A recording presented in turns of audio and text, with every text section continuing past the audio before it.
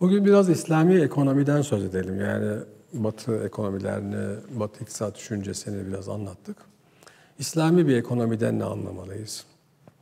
İşte bugün bir hükümetimiz var. Hükümet e, faiz politikasında özellikle ısrarlı bir şekilde Nas'a uygun davrandığını hesaba katıp işte piyasada fiyatlar alıp başını gitmişken mevduat getirisi yüzde yüzü geçiyorken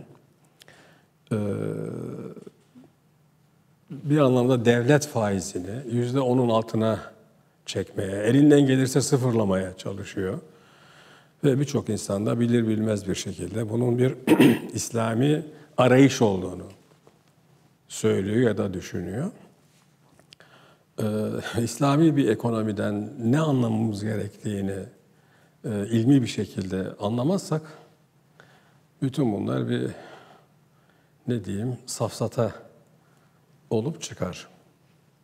Arkadaşlar bir ekonominin en temel birçok meselesi vardır ama en temel meselesi fiyattır. Fiyat. Pazar yerine gidiyorsunuz mesela. Kivilerle patatesler yan yana. Birbirlerine de benziyorlar. Aşağı yukarı aynı büyüklükte. Birinin tanesi 5 liraya geliyor.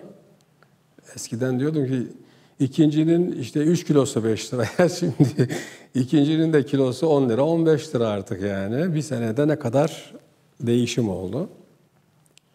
Ee, ama neticede ya bu niye bir, bir kivi 5 lira, bir patates 50 kuruş, 1 lira. Niye bu fiyat farkı? Ee, ya da karpuz kocaman, kivi küçücük. Öyle zaman, işte Ağustos ayında bir kivi ile bir karpuz aynı paraya. Ama aynı karpuz 3 ay sonra ya da 3 ay önce Mayıs ayında, şimdi artık Nisan ayında da çıkmaya başladı ya da ithal ediliyor bazen. Aynı karpuz 100 lira, sonra 20 lira. Bu fiyat niye değişiyor? Demek ki fiyat zamana, mekana göre değişebilen bir şey. Fiyatlamayı neye göre yapacağız? Kim belirleyecek? Kim yapacak? devletin, siyasi otoritenin fiyat belirleme hakkı var mıdır? Varsa ne ölçüde vardır? Bunun mantığı ne olmalıdır? Mesela Osmanlılarda narh sistemi vardı. Narh da bir tür tavan fiyat uygulamasıdır. Bugünkü en iyi karşılığı bizdeki halk ekmektir. Bunlar insani ya da İslami değil midir? Bütün bunların cevabını verebilmek için yani İslami bir ekonomiden ne anlayacağız? İlk derslere geri gidelim. Dedik ki kapitalizmi piyasa ekonomisiyle özdeşleştirmek çağımızın büyük yuturmacalarından biridir. Kapitalizmde elbette e, serbest piyasa vardır. Fakat yüksek kar bölgesi bunun dışındadır. Yani kapitalizm esas itibariyle konsantre sermayenin devletle çıkar birliği ederek, devletle kaderini örtüştürerek, devleti kendisinin hamisi, koruması haline getirerek yüksek bir kar bölgesi oluşturmasıdır. Ee, daha alt bölümlerde, işte Zola'nın romanlarından filan da örnekler vermiştik. Daha alt bölgelerde yüzlerce, tekstil sanayi. Gidersiniz mesela, ister Sultanhamam'a gidin, ister Merter'e gidin. Ee, yüzlerce gömlekçi bulursunuz. Birisi 30 liraya satıyordur, biri 300 liraya satıyordur, biri de 3000 liraya satıyordur. Ee, ya da e, buna benzer ayakkabıcı, sayısız ayakkabıcı bulursunuz. Ama bir arka planına giderseniz, yani gömlek neden yapılıyor? Diyelim ki e, pamuklu dokuma. Yani 100 bin gömlek satıcısı varsa bu ülkede pamuklu dokuma satan e, şirket sayısı yüze iner. Piyasa içinde de bunlardan 5 tanesi piyasanın %90'ına sahiptir. Bu sadece onda, orada değil. Yani mesela bisküvi nedir? Bisküvi evde de pişirebileceğiniz bir kektir. Yani hanımlar evde daha iyisini yaparlar. Yani basit bir iştir bisküvi. Ama Türkiye'de kaç tane bisküvici var? Ülker yüzde 60, eti yüzde 30, eti yüzde 90. Onun dışında ne varsa toplayın yüzde 10. En basit sektör bu. Kapitalizmin niteliği bu arkadaşlar. Hangi sektörü alırsanız alın, hem ülke genelinde hem dünya genelinde yüksek kar bölgesi vardır. Bir de rekabet bölgesi vardır. Yüksek kar bölgesi bazen e, icatçılıkla irtibatlı olabilir. Yani bazı insanlar icatçı oldukları için, inovatif oldukları için, yenilikçi oldukları için e, bir te- tekelci duruma gelebilirler. Dolayısıyla yüksek fiyat uygulayabilirler. Ama toplum hayatı yaşıyoruz. Bu şekilde icatçılıkla, zekayla, işte yenilikçi olmakla elde edilen tekelci konumlar sürdürülemez. Ele geçirilebilir ama sürdürülemez. Neden? Sizden daha icatçı, icabında daha üçkağıtçı, başka inovatif tipler geleceklerdir. Ve sizin o tekelci konumunuz sarsılacaktır. Ama siz o süreçte devleti arkanıza alabilirseniz, sizden daha zeki olanları piyasaya girmekten alıkoyabilirseniz, o zaman konumunuz kalıcı hale gelir. Şöyle basit bir örnek vereyim. Diyelim ki, kendi memleketimden vereyim. Ben Ağrı'da Taşlıçay ilçesinde doğdum. Taşlıçay'da küçük bir semt pazarı düşünün. Orada bir anda diyelim ki 15 tane çocuk maydanoz satıyor. Bugünkü fiyatlarla işte maydanozun demetini 2 liraya satıyor olsunlar. Ama işte zabıta İbrahim kendi emmi oğlu e, Ahmet'i kollayıp diğer 14 çocuğu biraz abartılı bir örnek veriyorum. Diğer yasaktır çıkın filan deyuslar deyip pazardan kovarsa tek çocuk kalırsa o zaman o maydanozun demetini 5 liradan biraz daha azalınca 7 liradan 9 liradan hatta 10 liradan bile satabilir. Kapitalizm aynen budur arkadaşlar. A sektöründe, B sektöründe o kadar büyük bir teşvik alırsınız ki artık yüzlerce sizden daha zeki insan çıksa bile o sektörde sizin bileğinizi bükemez. Dolayısıyla kapitalizm bir serbest piyasa ekonomisi değildir.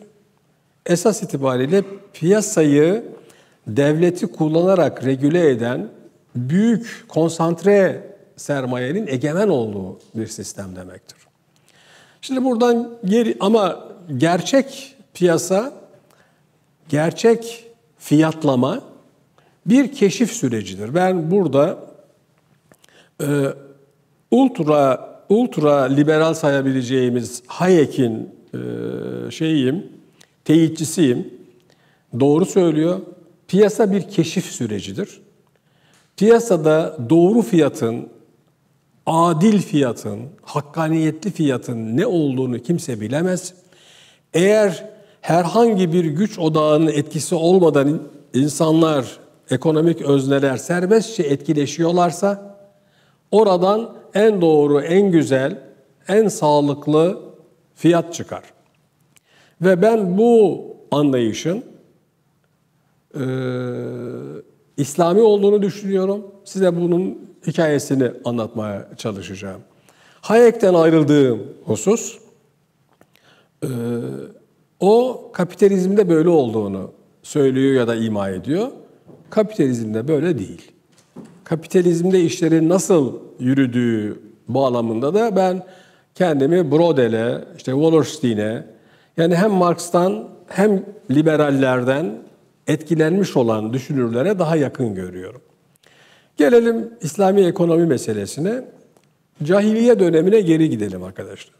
Hazreti Peygamber bir, bir roman yazıyor gibi anlatayım. Hazreti Peygamber genç bir adam, tüccar bir hanımla evli. Onun hem eşi hem de bir iş ortağı şeklinde. Enteresan mesela cahiliye döneminde e, Arapların mesela e, Efendimizin e, dedesi Haşim Gazze'de Rumlara o günün işte Bizanslılarına ya da ne diyeceksek onlara mal satarmış. Babası Medine'de vefat etmiş Abdullah değil mi? Medine'de vefat etmiş. Arkadaşlar Mekke Medine iş gidip gelen oldu mu? Takriben 500 kilometre. Çok uzak mesafeler. Bakın bir tek örnek vereyim size. Bizim Borusan diye bir şirketimiz var biliyorsunuz değil mi Borusan? Borusan'ın kurucusu Asım Kocabıyık Bey'in hatıratını okuyun. Orada büyük büyük dedesini anlatıyor. Kitabın başlığı Tazlar Köyü'nden Borusan'a. Tazlar, Afyonlu var mı aramızdan? Afyon, Tazlar Köyü'nü biliyor mu? Onu öğren. Tazlar nerede? Ben de Afyon'dan geçiyorum ama Tazları bir gidip göreyim. Neyse bunlar e, anlattığı tarih 1800'lerin ortaları, 1830'lar 40'lar filan. E, büyük dedesi Halil Efendi evli, iki çocuğu var. Köy kahvesinde bir iddiaya tutuşuyorlar. İddiayı kaybedenin hanımı, bak tam bir roman gibi, hanımı gelecek, e, orada kim varsa kahvede o sırada onlara kahve ikram edecek. Bu dede de iddiayı kaybediyor. Ne iddialaşmışlarsa kaybediyor. Ama onuruna yediremiyor, hanımını getirmiyor. Hanımını getirmeyince iddiayı kazananlarla kavga ediyorlar, onlardan birini öldürüyor. Bu sefer iş büyüyor, öbürleri işte kan parası istiyorlar. Kan parası toplanıyor ama yine de diyorlar ki yani diyeti aldık ama bu adamı gördükçe hep hatırlayacağız, vuracağız, gitsin. E, çoluk çocuğu alıp nereye gidecek? Götüremez onları yani. Çünkü insanlar arkadaşlar yakın yüzyıllara kadar yani tren yolculuğu ortaya çıkıncaya kadar otomobil, otobüs bunlar ortaya çıkıncaya kadar bunların 150 tren adı 200 olsun diğerlerinin 100 yıllık bir tarihi var. O günler için böyle bir imkan yok. Nereye gidecek? E ben gideyim diyor, çoluk çocuğu kalıyor. Uzak bir memlekete gidiyor. Oraya yerleşiyor. Orada evleniyor. Çocukları oluyor. O çocuktan, o hanımdan işte filanca oluyor. Ondan bilmem ne oluyor. 1900'lerin başlarında, 1920'lerde de Asım Kocabıyık doğuyor. Şimdi siz onları okuyunca zannediyorsunuz ki Tazlar köyünden çıkmış, ya Diyarbakır'a gitmiş, ya Bosna'ya gitmiş. Ne bileyim yani iki gidip yerleştiği köyle kendi köyü Tazlarla işte orijinal köy arasındaki uzaklık 24 kilometre arkadaşlar. 24 kilometre. Yani mesafe aşılamaz bir şeydi eski çağlarda. Ama düşünün şimdi konumuza gelelim. Hazreti Peygamber'in babası Abdullah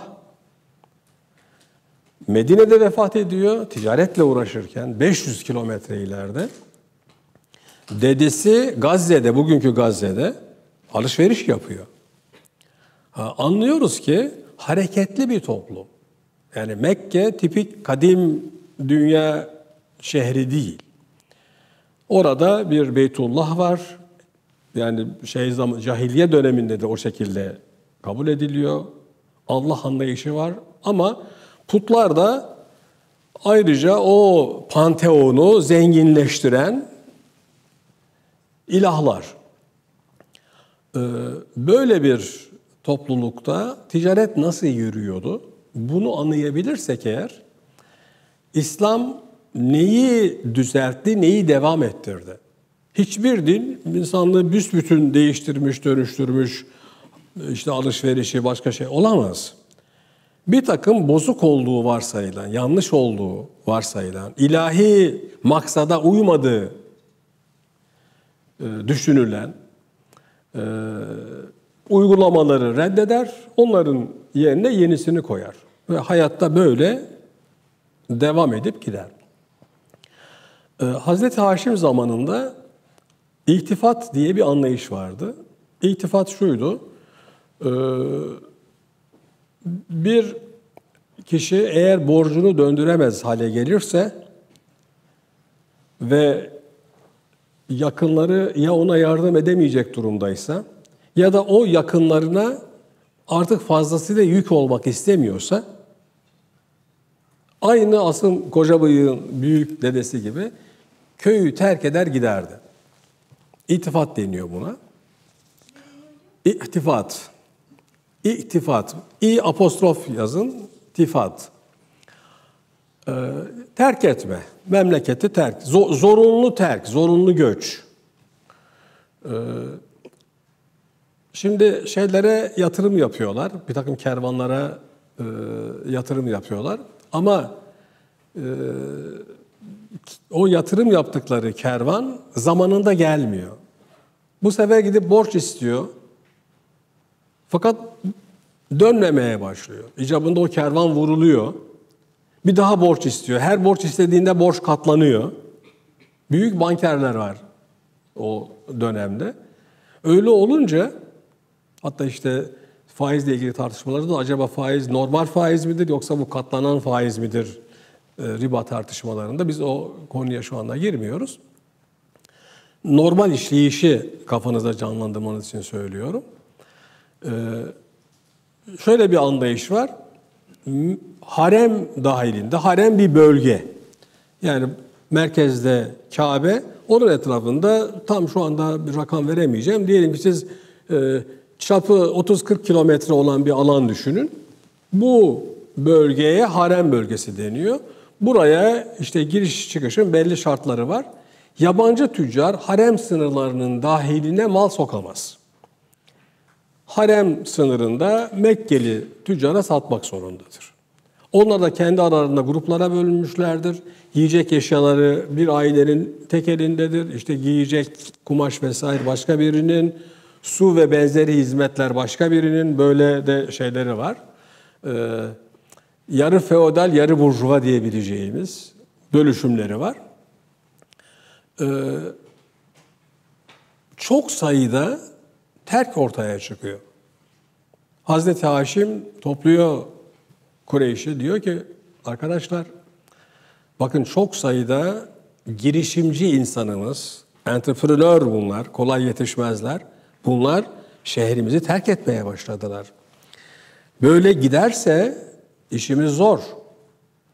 Hem bakın yani bu insanlar yani kötü oldukları için, üç kağıtçı oldukları için e, borçlarını ödeyemez duruma gelmiyorlar ki. Mecburiyetten geliyorlar. Kendi kelimelerimle ifade edeyim. Temel problem sermaye yetersizliğidir diyor. Adam bir yatırım yapıyor. O yatırım zamanında dönmediği zaman nakit darboğazına giriliyor. Bunu önlemek için sermayelerimizi bütünleştirmemiz lazım. İlk e, mudarebe adını verdiğimiz emek sermaye ortaklığı bu şekilde ortaya çıkıyor. Yani aramızdan en becerikli olanların idaresinde herkes sermayesini birleştirsin. Büyük kervanlar donatalım. Bunlar malları getirsin. Dolayısıyla da e, nihai kardan herkese sermayesi e, ölçüsünde de dağıtalım. E, ser, kabul ediliyor. Dolayısıyla sermayeler bir, birleştirilmeye başlanıyor. Arkadaşlar biraz iktisat tarihi okumuşsanız sermaye oynak bir nesnedir. Ee, büyümeye başlayınca yerinde duramaz olur. Sallanmaya başlar, açılmaya baş meyleder. Su gibi yani böyle. Ee, engel çıkarsanız onun üstünden aşmaya başlar. Ee, pergelin ayağını aşmak gerekir. Ne kadar uzağa giderseniz kar marjı o kadar büyük olur. Ama uzağa gidebilmek için yol üzerinde büyük kabileler var.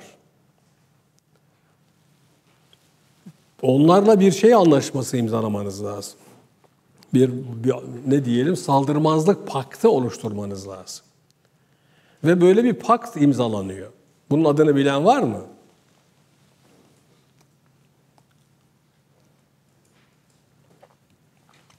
Estaizu. Li ilafi Kureyş. Kureyş'in ilafı için. İlafihim rihlete şita ve sayf. Rihle sefer demek, yolculuk demek. Kervan, kervanlar demek. Kureyş'in ilafı var.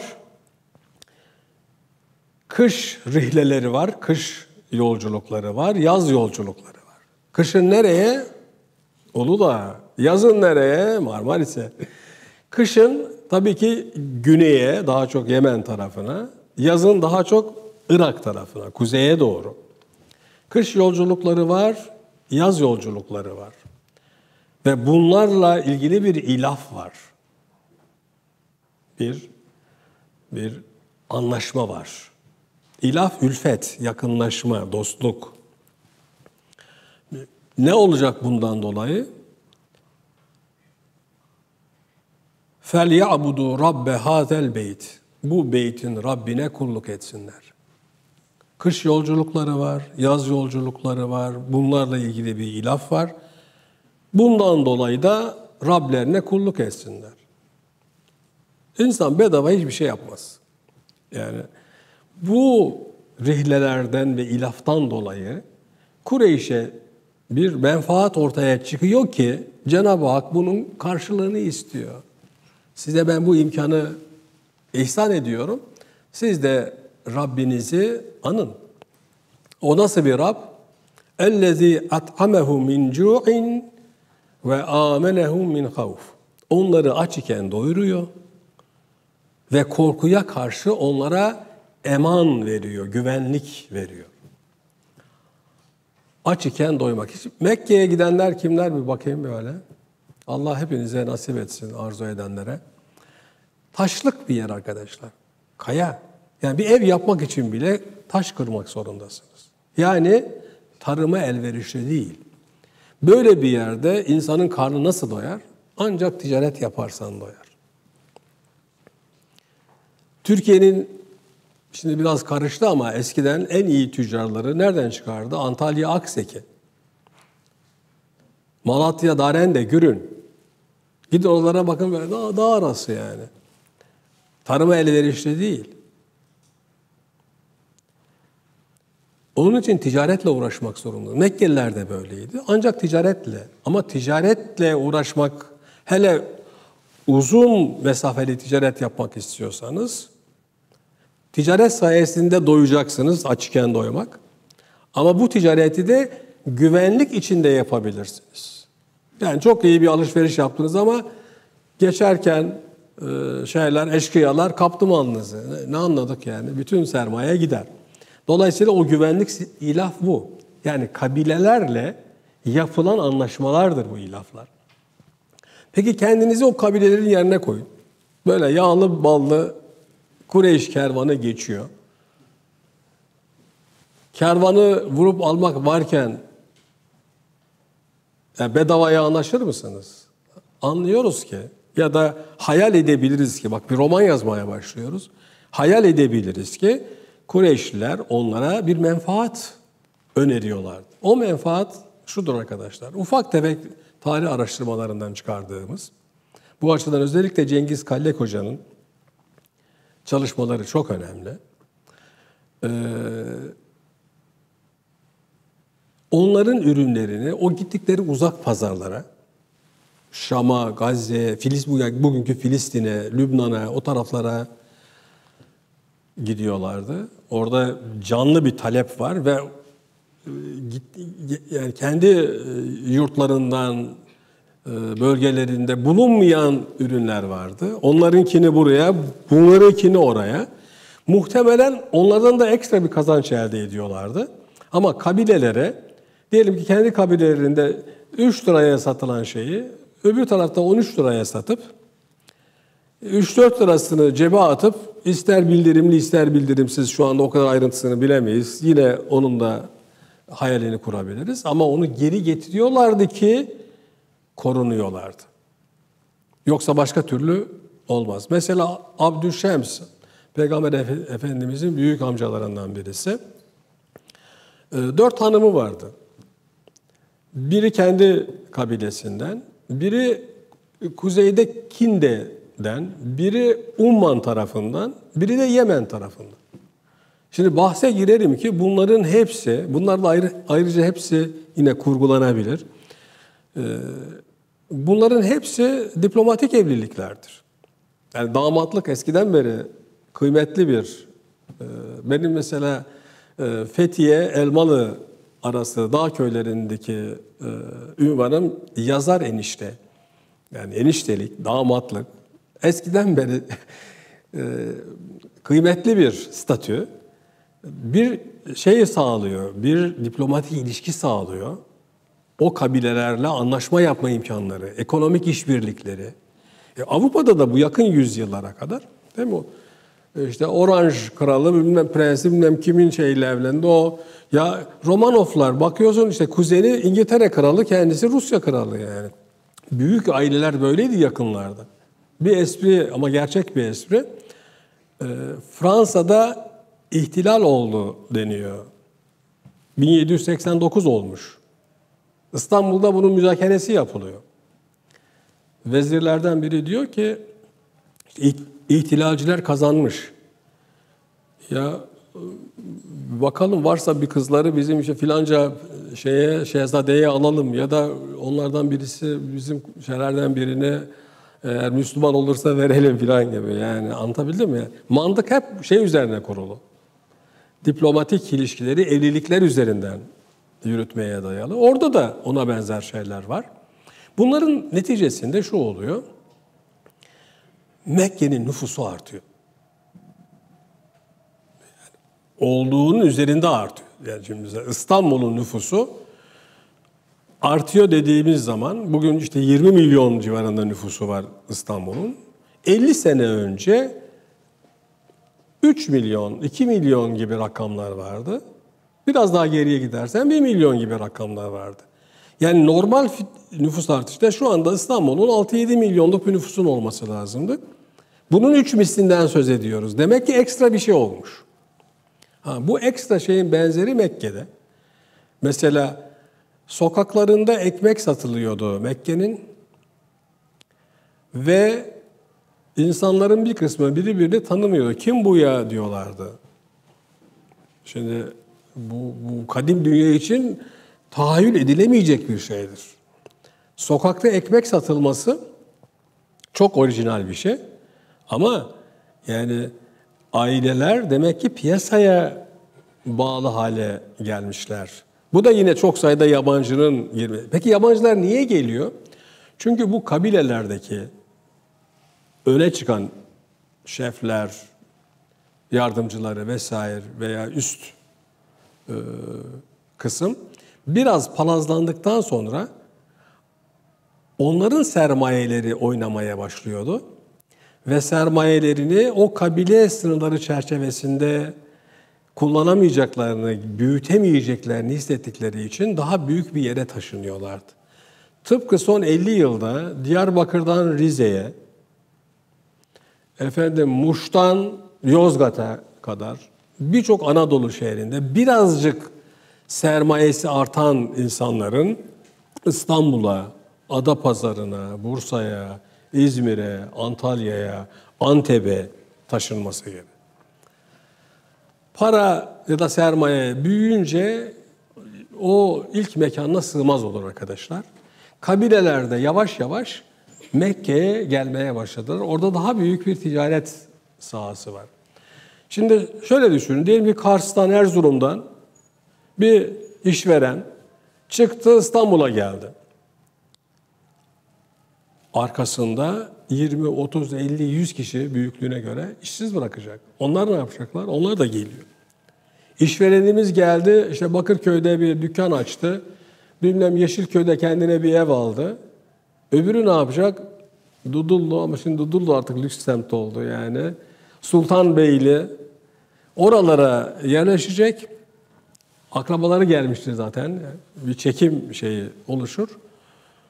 Önce ufak bir gece kondu. Sonra ufak tefek işler. Uyanıkları biraz girişimci olur. Diğerleri de yine sıvacı, boyacı vesaire devam ederler. Aynısını Mekke'de görüyoruz. Bu şeyden dolayı Mekke'de çok böyle şiddet bir e- şey sınıf doğuyor. Bir ne diyelim e, aristokrat ama yani silahlı olduğu için aristokrat ama burjuva mantıklı aristokrat. İşte Ebu Cehil, Ebu Süfyan bunların hepsi o sınıfa giren insanlar. Bunlar piyasa üzerinde kendi silahlı güçlerinin verdiği avantajla şey egemenlik kuran insanlar. Mesela şöyle örnekler okumuştum. Ee, Zebid kabilesinden bir bedevi iki devesini getirdi. Ee, Ebu Cehil hemen çok düşük bir fiyat biçti. E olsun yani Mekke e, pazarı bu. Ebu Cehil düşük bir fiyat vermişse vermiş. Ne olacak yani? Bir başkası da yüksek fiyat verir. Normal bir fiyat verir. Belazuri büyük bir tarihçi diyor ki Mekke'de Ebu Cehil bir mala fiyat biçtikten sonra araya girmek, daha yüksek bir fiyat vermek yürek isterdi artık. Kavga sebebi yani. Adam kıvranıyor, uzak bir yerden gelmiş, kim bilir ne ihtiyaçları var. Hani işte onları satacak, onun karşılığında bir şeyler alıp götürecek. Ama öyle ölü bir fiyat ki nasıl versin? Birisi bunu acıyor haline. Diyor ki burada e, Abdullah oğlu Muhammed diye bir genç tüccar var. O temiz bir insan. Sen bir, bir de ona git. Develeri götürüyor. Hazreti Peygamber de daha genç yani. Diyelim ki 30'lu yaşlarda belki. Henüz risalet gelmemiş. Ee, normal bir fiyata alıyor. Ebu Cehil hemen koşuyor ve kavga ediyor onunla. Nasıl yaparsın? Piyasamızı bozuyorsun. Mesela şöyle şeyler, örnekler var. Ee, Ebu Cehil diyor ki, vallahi diyor, e, yani Muhammed emin bir insan. Ben onun doğru konuştuğuna yani inanıyorum. O yalan söyleyecek birisi değil. Ama yani işte şu hak onlarda ailelerin isimlerini veriyor. Haşimoğullarında şu şu. E bir de peygamberlik onlarda olursa ne yapacağız biz yani? Olaya hangi açıdan baktığını görüyoruz. Şeyi hatırlayın. E, Abese suresini. Değil mi? Efendimiz ileri gelenlerden bir kısma tebliğde bulunurken e, kör biri geliyor, ama biri geliyor. Bana işte İslam'ı anlatıyor. E, yani tasvir hoş değil ama Hazreti Peygamber sanki ya sen çantada kekliksin ya sen zaten Müslüman olmak istiyorsun ya da Müslümansın. Bir dur yani bunlar mühim adamlar. Hemen değil mi uyarı ayetleri geliyor. Kimin hayırlı olduğunu sen bilmezsin. Yahut şöyle şeyler. Mesela gelip diyorlar ki Hazreti Peygamber'e tamam yani sen biraz inatçısın bizim bakış açımızla. Bizi bu ter kokan daha aşağılık işte ne bileyim Bilal'le Zeyd'le şunla bunla yani daha böyle aşağı avamla bir tutuyorsun. Olmaz biz soylu insanlarız. İngiltere'ye nispetle söylüyorum. Yani bir e, avam kamerası olsun. Bir de lordlar kamerası olsun. Sen lordlar kamerasında bizimle otur.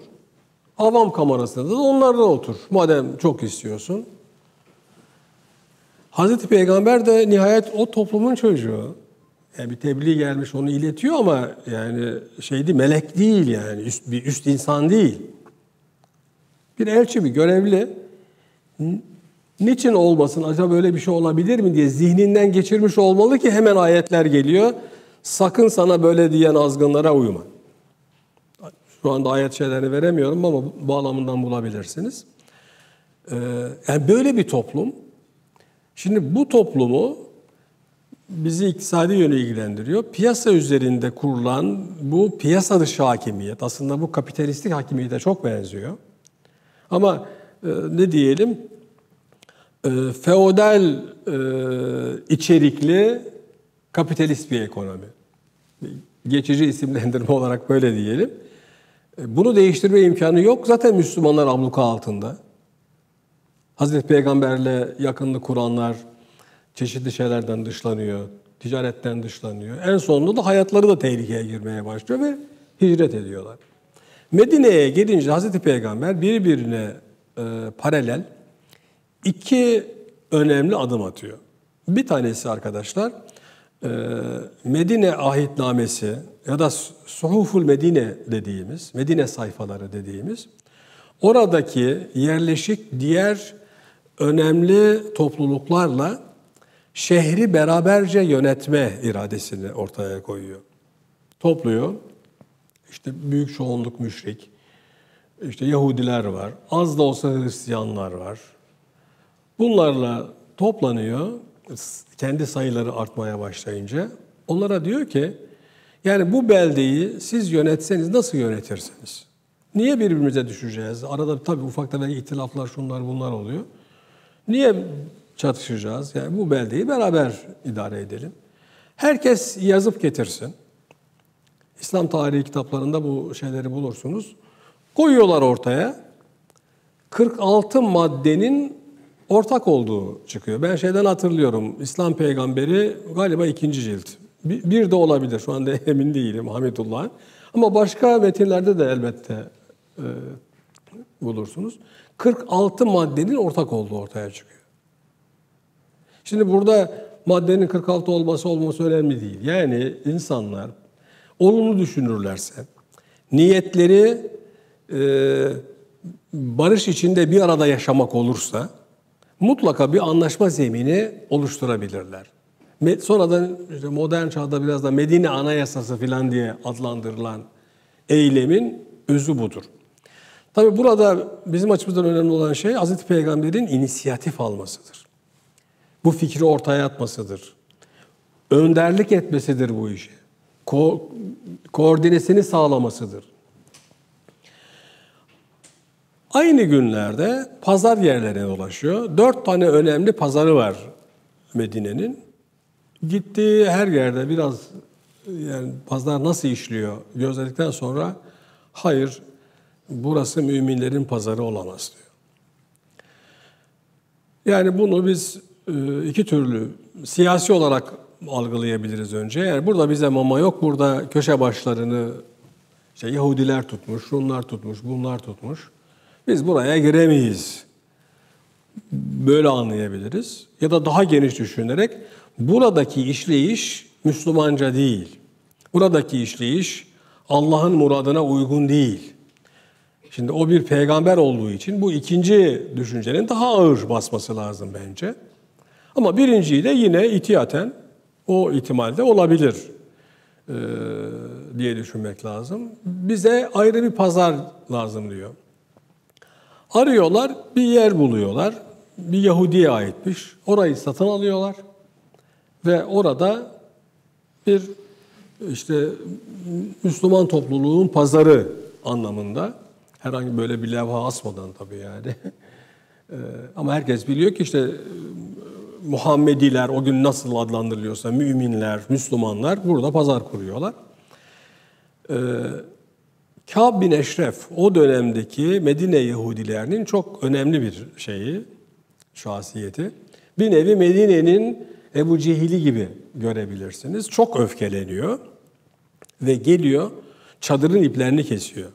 Yani çadır e, pazar yerinin bir nevi şeyi, nişanesi, alameti. Ben diyor e, Yahudi toprağında Müslümanlara pazar kurdurtmam. Şimdi bu öfke arkadaşlar e, iki türlü anlaşılabilir. Yahudi toprağında pazar kurdurtmam. İkincisi Yahudi toprağında pazar kurdurtmam. Yani mesele hangisi? Mesele Yahudi toprağı ise o zaman bu aristokratik bir öfkedir. Mesele pazar kurdurtmamaksa bu da bir burjuva öfkesidir. İki öfke arasında çok önemli bir fark vardır. Tabi Hazreti Ömer diye hemen kılıçlara sarılıyorlar. Hazreti Peygamber hayır diyor. Şunu demeye getiriyor. İktisadi bir mesele askeri yöntemlerle çözülmemeli. İktisadi meseleyi iktisadi bir usulle çözeceğiz. İfadesi şu, pazar yerini öyle bir yere taşıyacağız ki Kâb öfkesinden kudursun. Şimdi öfkenin mahiyetini daha iyi anlıyoruz. Orayı terk ediyorlar, gidiyorlar. Bugünkü Cennetül Baki mezarlığı vardır. Mescid-i Nebevi'nin hemen karşısında. Hafif engebeli şu anda zamanla olduğunu düşünüyorum o engebelerin. Oraya sonra da mezarlık oluyor tabii. Orayı pazar yeri haline getiriyorlar. Öyle bir yere taşıyacağım ki diyor, Kâb öfkesinden kudursun. Ama bu yer Yahudilere ait değil. Yahudilerden almamışlar. O zaman Kâb niye öfkesinden kuduracak ki? Hatta tam aksine diyecek, Aa bak kovdum gittiler. Bizim topraktan çıkardım. Öfkelemeye devam edecekse o zaman o öfke feodal bir öfke değil, aristokratik bir öfke değil. O öfke bir burjuva öfkesi. Pazarın kurulmasıyla ilgili ekonomik bir öfke. Arkadaşlar bu evrensel bir öfkedir. O gün Medine şartlarında bu şekilde tezahür ediyordu. Benim gençlik yıllarım boyunca başörtü yasağı şeklinde ortaya çıktı. Ben başörtü yasağının esas itibariyle dini ya da işte e, seküler bir mesele olmadığını, tamamen pazarı kendileri kadar kabiliyetli insanlara kapatma meselesi olduğunu düşünüyorum başından itibaren. E, bugün de başka şekilde, başka türlü dışlamalar söz konusu olabilir. Bunların hepsinde e, burjuva hesapları görüyorum. Hazreti Peygamber onun hesabının bir burjuva hesabı olduğunu, dolayısıyla pazarı kurmaya devam edeceğini ama feodal bir çatışmaya da girmek istemediğini, dolayısıyla da onlara ait olmayan bir yerde bir Müslüman pazarı. Şimdi bu pazar yerinin nitelikleri bana İslami bir ekonominin bütün temel şeylerini veriyor arkadaşlar. Prensiplerini veriyor. Birincisi pazar yeri dümdüz. Diyor ki tarihçimiz, e, pazarın bir ucunda ayakta duran bir insan öbür ucundaki bir merkebi görebiliyordu. Merkep ne abla? Niye merkebe eşek diyoruz?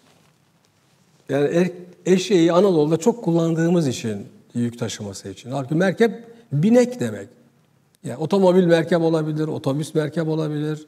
Muhtemelen deveyi kastediyordu orada. Orada daha çok deve olacağını, belki at bilemiyorum ama deve olma ihtimali daha yüksek. Yani masa gibi dümdüz. Arkadaşlar pazar yerinin dümdüz olması çok önemlidir. Herhangi bir piyasa, ister 1500 yıl önce Medine'deki bir piyasadan söz edelim, ister 21. yüzyılın dünyasındaki petrol piyasasından, bitcoin piyasasından, ne bileyim çip piyasasından, hangi piyasayı alırsanız alın fark etmez. Piyasa dümdüzse, bunun çağdaş anlamı şu, asimetrik enformasyon oluşmuyorsa. Stiglitz, Akerlof, üçüncüyü hatırlamıyorum, 2001 yılında asimetrik enformasyon kavramı çerçevesinde hazırladıkları tezle Nobel Ekonomi Ödülü'ne layık görüldüler. Çünkü bu arkadaşlar, bu üç önemli, Stiglitz çok ünlü birisi. Ee, bunların iddiası şu, şu anda dünya ekonomisinde gerçek rekabeti önleyen en temel mesele asimetrik enformasyondur. Asimetrik enformasyon şu, piyasada aktörler var değil mi? Oyuncular var, alıcılar, satıcılar var. Enformasyon, bilgi yani alınan satılan şeylere dair bilgi. Eğer simetrik dağılıyorsa, aşağı yukarı eşit dağılıyorsa, herkes aynı nitelikte ve nicelikte bilgiye sahipse orada serbest rekabet olur. Fazla haksızlık oluşmaz. Ama asimetrik enformasyon varsa Yani birileri çok biliyor, birileri az biliyorsa orada birileri diğerlerini manipüle edebilir. Bir örnek vereyim. 2003 yılında işte Amerika Bağdat'ı vuracak mı vurmayacak mı? Afganistan'a gitmişler sonra işte omurdanıyorlar Saddam vesaire. Ee, olacak mı olmayacak mı bu tartışmalar. Petrol 20-25 dolar civarında. Şimdi adınız Çeney olsa, bir takım petrol şirketleriyle bağlantınız olsa ve Bush da kulağınıza fısıldasa kesin bombalayacağız ki fısıldamıştır. O zaman dünya kadar petrol kapatırsınız. İki hafta sonra, üç hafta sonra 60 dolara, 80 dolara, 90 dolara satmaya başlarsınız. Asimetrik enformasyon böyle bir şey arkadaşlar. Insider trading diyoruz buna borsalarda. Yani şirketle Arçelik bu sene kar dağıtacak mı, dağıtmayacak mı? Dağıtırsa hisselerin fiyatları yükselir, dağıtmazsa düşer ya da stabil kalır. Ama içeriden bilgi almışsanız eğer, abi bu sene şu kadar dağıtacağız. Tak ona göre alıyorsun yani. Yani şu, herhangi bir piyasada, o piyasada Müslümanlar olsun olmasın, o piyasadaki insanlar Müslümanlık adını, Kur'an, Allah, peygamber böyle şeyleri duymuş olsunlar olmasınlar. Tarihin hangi döneminde, dünyanın hangi bölgesinde yaşıyor olursa olsunlar. Eskimolar, ne bileyim Çinliler, Maçinliler. Eğer alışveriş sistemleri içinde asimetrik enformasyon oluşmuyorsa ya da yani negligible ise, ihmal edilebilir ise, çok düşük düzeyde ise orada tıpkı Hazreti Peygamber'in Medine pazarını kurduğu günlerdeki gibi İslami bir ruh, İslami bir hava, buna İslami deyin, insani deyin fark etmez. Böyle bir hava vardır. Peki böyle bir şey olmuş mudur? Benim çocukluğumda vardı arkadaşlar. Ben köyde doğdum. Kasabada biraz büyüdüm 6 yaşına kadar. Sonra da şehir merkezine geldik. Ama şehir merkezi de büyük bir köy gibiydi. Zannediyorum şimdi de gitseniz büyük bir köyden çok farklı değil. Cuma günleri şehrin büyük bir alt meydanı, bir çarşısı vardı. Bir de bizim meydan dediğimiz ayrı bir yer vardı. Oraya hayvan getirenler, işte köyde yetiştirdiği soğan, domates, biber, aklına ne geliyorsa, fasulye, yumurta bunları getirir cuma günü. Cuma vaktine kadar satarlar. Sonra kazandıkları parayla köyde bulunmayan tuz, şeker, basma, yani kumaş bunları alır dönerlerdi. Şimdi tabii şehrin dört bir yanı köyler. Bizim mahalleden geçenler olurdu. Mahalleli alışmış. Diyelim ki yumurtacıyı durdururdu, öbürlerini durdururdu. Ve yumurtalar normal fiyattan yani öyle bir kapatma herhangi bir şey yok. Benim rahmetli dedem dahil bütün yaşlılar ellerinde sopalarla haramdır, haramdır, haramdır diye hem satanları döverlerdi, kovarlardı hem mahalleliye şey, engel olurlardı. Ya Abbas dede niye böyle yapırsın? Bak 50 kuruşa alırız. Valla pazarda da 50 kuruş. Valla istersen 40 kuruşa al, istersen 25 kuruşa al. Efendimiz buyurmuştur ki köylünün mali pazara gitmeden almak haramdır. Bitti nokta. Dede sen bu Molla Abdurrahman bana böyle öğretti. Bitti. Arkadaşlar çünkü işte Hayek'in en başa geliyorum. Hayek'in anlattığı şeydir bu. Piyasa bir keşif sürecidir. Herhangi bir an yumurta 50 kuruş olabilir. Ama o cuma günü eğer piyasaya talepten daha az yumurta gelmişse yumurta 60 kuruşa, 70 kuruşa, 100 kuruşa kadar çıkabilir. Talepten daha fazla gelmişse 40 kuruşa, 30 kuruşa, 20 kuruşa inebilir. Bunun yeri mahalle değildir. Pazara gidecektir. Pazarda her şey karşılığını bulacaktır. Haramdır. Efendimiz böyle buyurmuştur. Bitti. Yani ben kendi çocukluğumda bile bu bilincin yaşadığına şahit olmuş bir insanım. Ha, tarım toplumunda bunları uygulamak daha kolaydı. Sanayi toplumunda, hele işte post endüstriyel toplumda bunları uygulamak kolay değil. Ama imkansız da değil arkadaşlar. İmkansız da değil. Şu anda dünya sistemi kaotik bir şeyden geçiyor. Kaostan daha iyi şeyler de doğabilir, daha kötü şeyler de doğabilir. Kaosun neticesinin ne olacağı niye belli değil? Çünkü senin benim ne yapacağımız belli değil. Senin benim haklılardan mı haksızlardan mı yana olacağımız belli değil. Senin benim işi nasıl tutacağımızı, neyin peşinde koşacağımızı, neye kazanım diyeceğimizi bilmiyoruz. Bilirsek aynı Hazreti Musa, Hazreti Firavun modeli gibi arkadaşlar. Düşün Hazreti Musa'nın nesi vardı? Kekeme bir adamdı ya. Kekeme. Konuşamıyor bile. Karşısında Firavun var, Haman var, Karun var. Karun sermayeyi, serveti temsil ediyor. Haman o günkü bürokrasiyi, orduyu temsil ediyor. Firavun bütün sistemi temsil ediyor. Karşılarında kekeme bir adam. E, peki niye niye korkuyordu Firavun? Niye çekiniyordu? Hiç kale almasındı. Hayır çünkü bu adamın sözünün dönüştürücü bir gücü olduğunu seziyordu, biliyordu.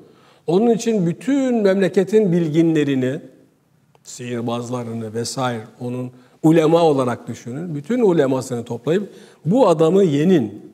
Yenerseniz eğer, yenerseniz size büyük servetler var. Hepiniz gözdelerim olacaksınız. Değil mi? Hiç değişmiyor. Bugün de aynı. Ne dedi ulemalar? O kolay. Yani sen bize ne vereceğini söyle. O da dedi ki işte şöyle şöyle.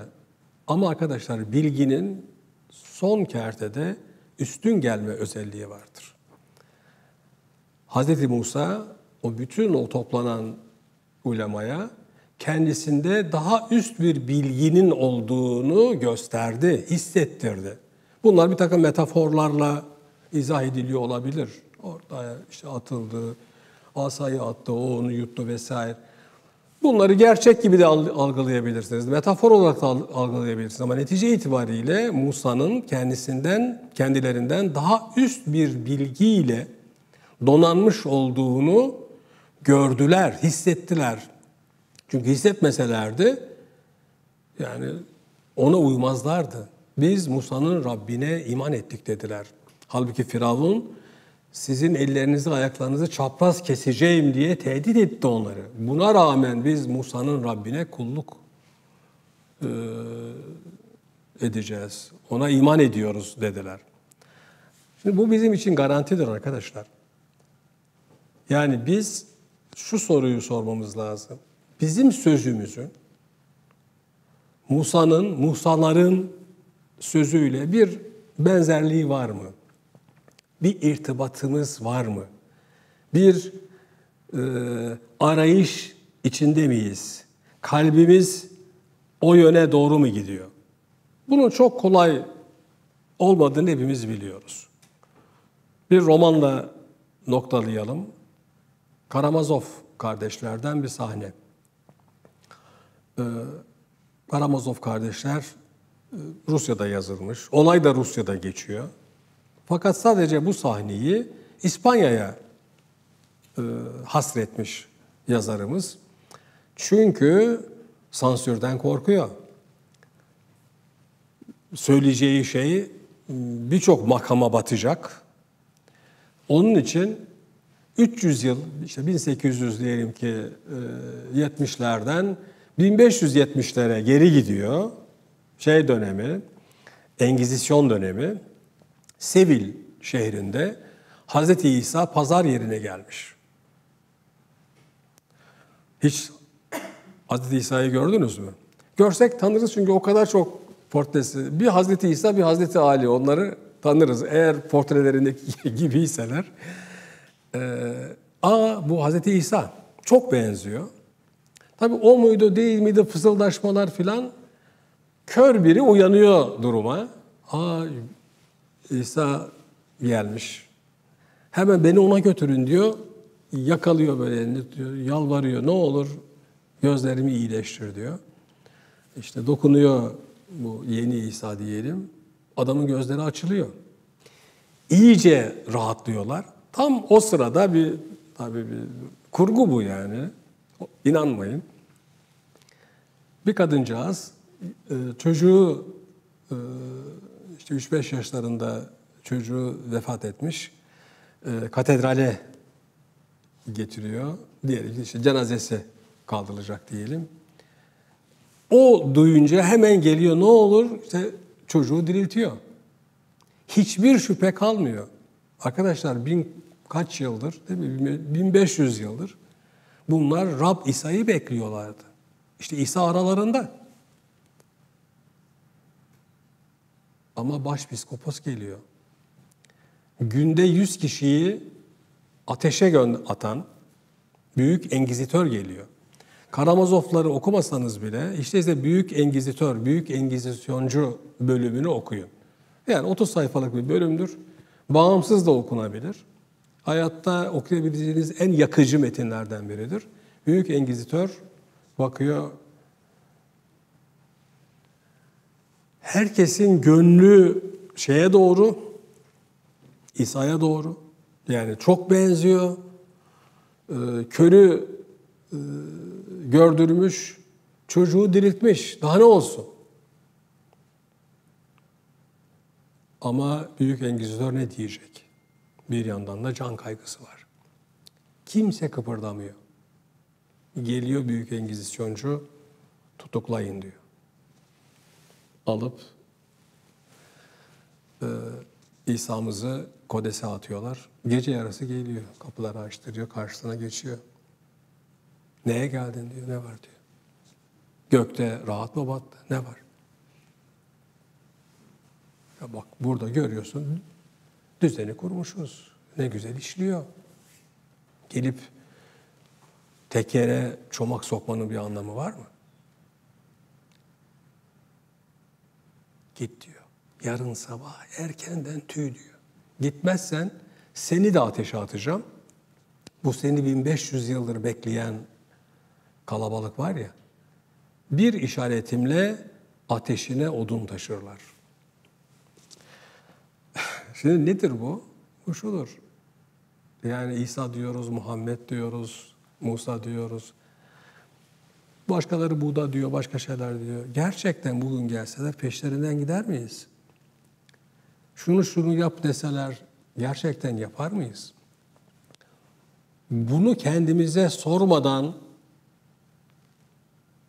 neyin hesabını yapıyoruz? Bize bu soruları romandan başka hatırlatan da yok arkadaşlar. Diğer bütün bilgi alanları rutine binmiş durumda. Edebiyatı bu açıdan önemseyin. Bu size son sözüm olsun.